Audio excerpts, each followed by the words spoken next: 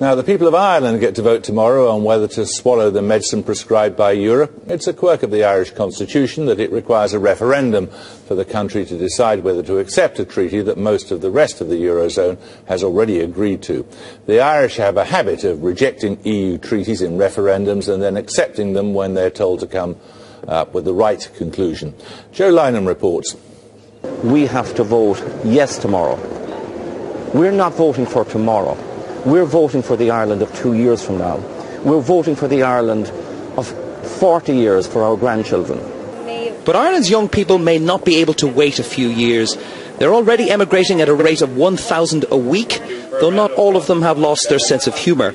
I just find it kind of interesting, and I'm sure you guys have seen this, the scenes of protest, the Indignados in Spain, and, and, and the, the people of Greece taking to the streets, burning down Athens, and, and part of you thinks, why doesn't this happen in Ireland? And you realise, we just don't have the weather for it. I'm not going to pay any debt. And people say, Aidan, that's irresponsible. What would happen if everybody stopped paying their debt?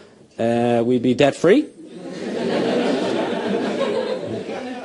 I decided to do my own little stand up. After all, how difficult can it be?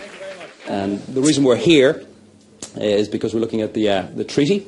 And I was hoping to canvass your views uh, because, unlike so many of your peers, uh, you haven't emigrated uh, yet. Uh, so, all I, uh, so many are don't knows. Okay, so you're, you're, you're going to vote in the next 48 hours, you still don't know. Is that fair enough? Uh, can I ask someone why they don't know? Sir, who, you, did you raise your hand? Who raised their hand and said they didn't know? So, so why, why, why, why don't you know? No pressure. I haven't really looked into it. Despite the gallows humour and the high number of undecided voters, even at this late stage, both sides in the debate agree that Ireland faces a few more years of austerity, irrespective of the outcome. Well, just before we go